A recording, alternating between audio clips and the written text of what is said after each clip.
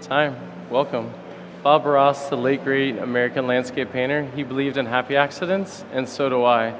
But when it comes to producing extraordinary coffees, controlling every variable and understanding what each one contributes is key.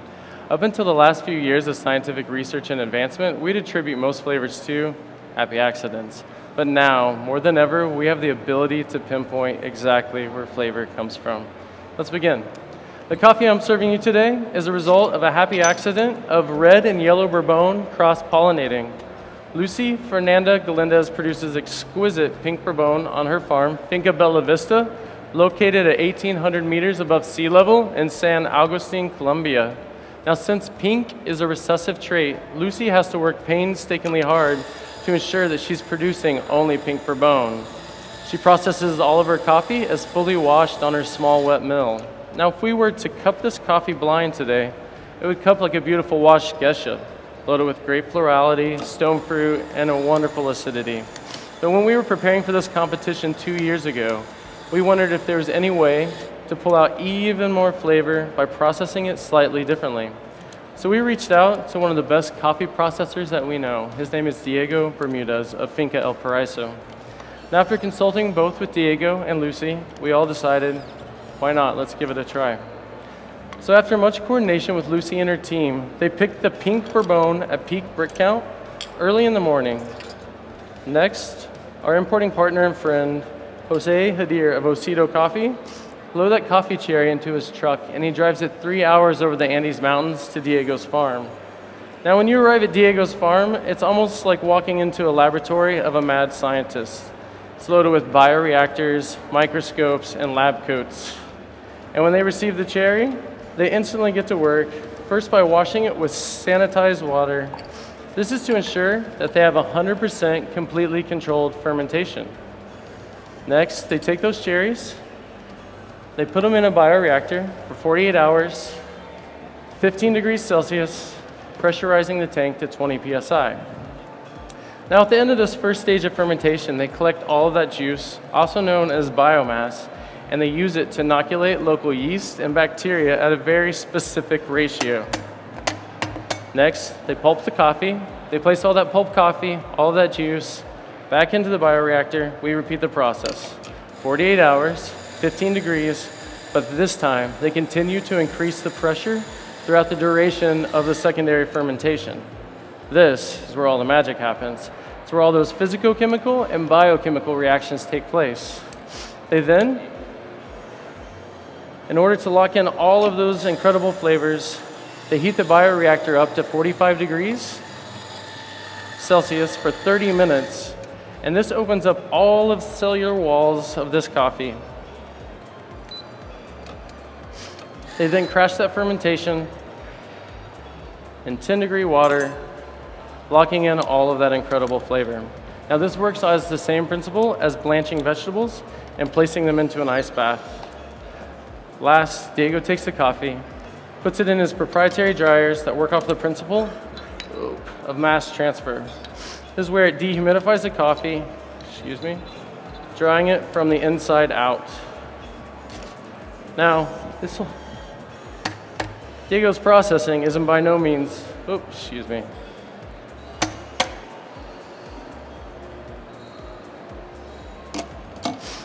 Now today, I'm dosing 20 grams in, 40 grams out at around 25 seconds.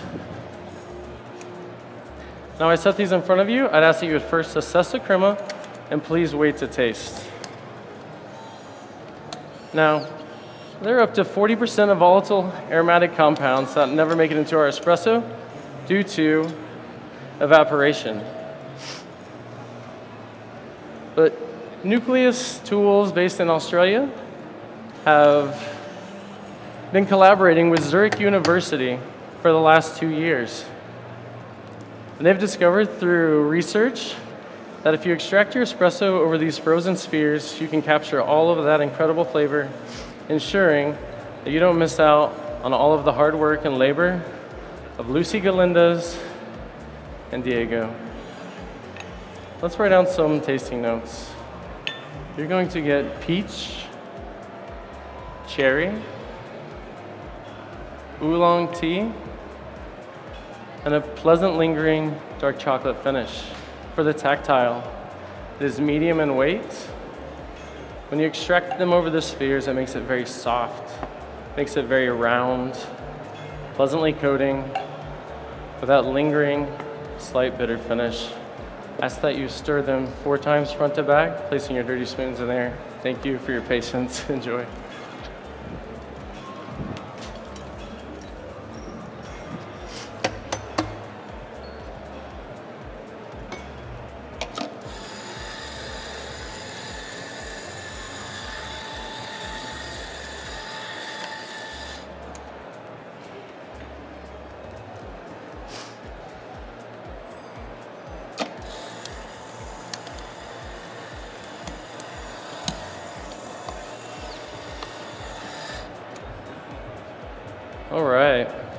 Couple more seconds and we'll move on.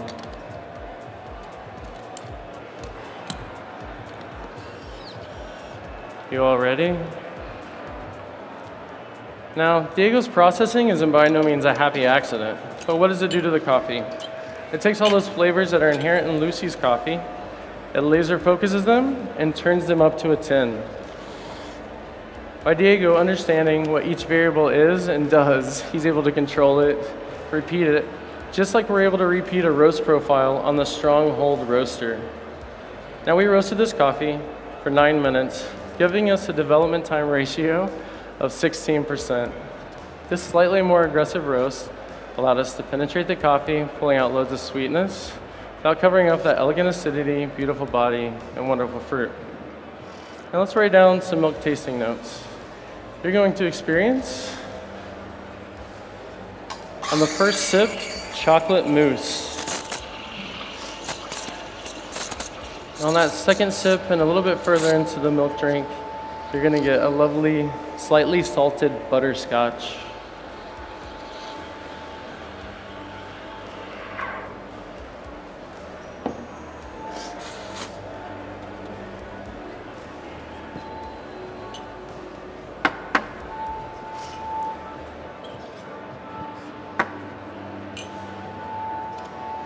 Now, in order to match the precision of processing and growing of Lucy's coffee, we had to turn to milk cryodesiccation for your milk beverage.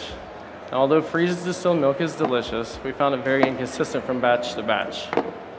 Milk cryodesiccation, on the other hand, is an exact process yielding the exact same amazing results. Now, this 24 hour process begins by freezing the milk. We then apply gentle heat while keeping it under a vacuum allowing the removal of all water through sublimation. Enjoy. Leaving only the delicious fats, the sugars, and the proteins, concentrating this milk up to 900%. We then take 30 grams of that cryodesiccated milk and we rehydrate it with 330 grams of the same original milk that we began with. Now this not only just increases the sweetness, which is wonderful, but it also gives it a lovely, silky texture.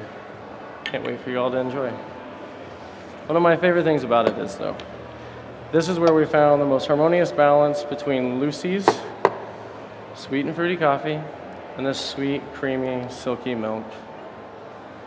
Thank you too for your patience. Sorry for the delay.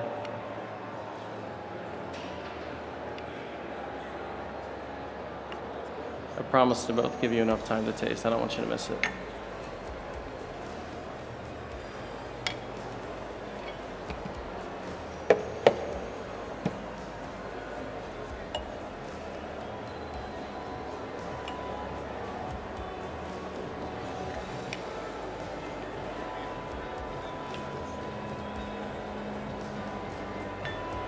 Thank you so much. Cheers.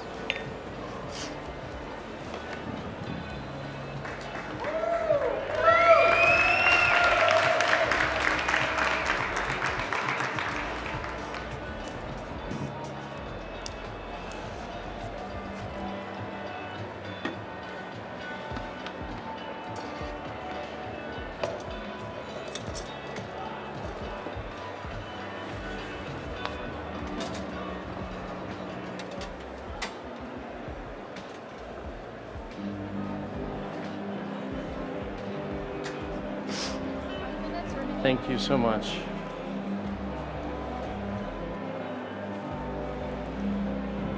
All right. Is everyone ready? I ask you to follow single file along this direction. Be careful not to trip over the cord. And I've got some fresh water over there if you need to freshen your palates up. You guys good? All right. Now, for my signature drink, I wanted to create something that was easily as repeatable as Diego's processing and our roasting on the Stronghold roaster.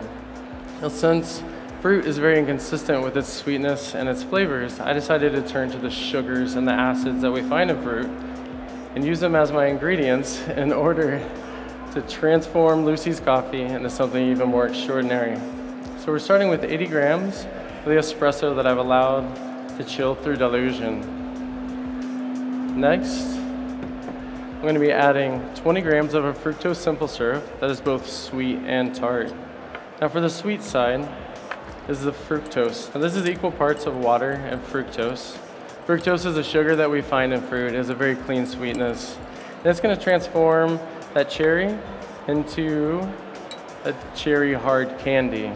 Now for the tart side, Lucy's coffee has a fair amount of malic acid, so in order to introduce a new note and transform it, we just needed to add 0.2 grams of citric acid, which gives us an awesome blood orange.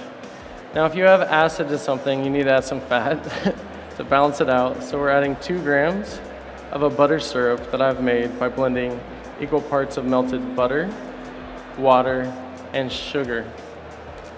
Now, once that's fully incorporated, in order to stabilize it, I added two grams of an emulsifier called 210S, which is both acacia gum and xanthan gum.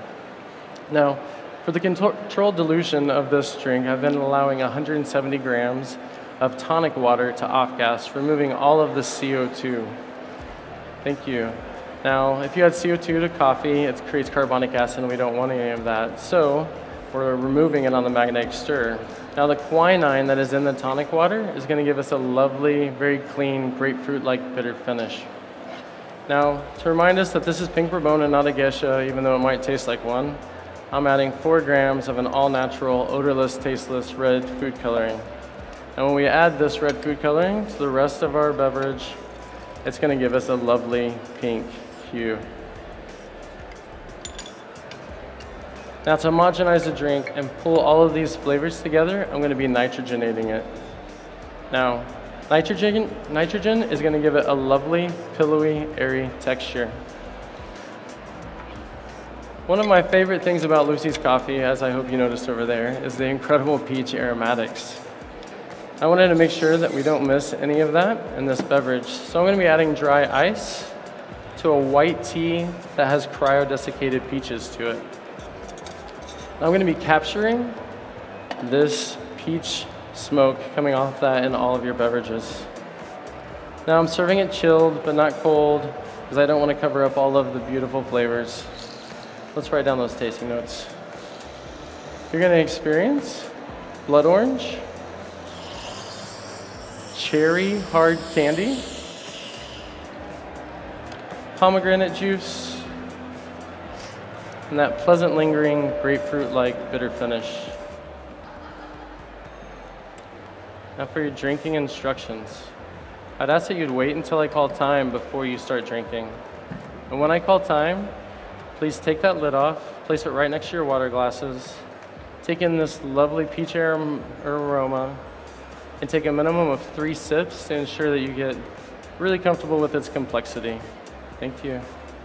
Now, although there were some happy accidents along this journey, such as discovering the pink bourbon mutation, connecting with new colleagues, and discovering new coffee processes, it took two years of hard work, collaborating, working with two competing importers, working with two farmers, one very traditional being Lucy, she's a wonderful, wonderful human, and Diego Bermudez for taking us on, which he did not need to.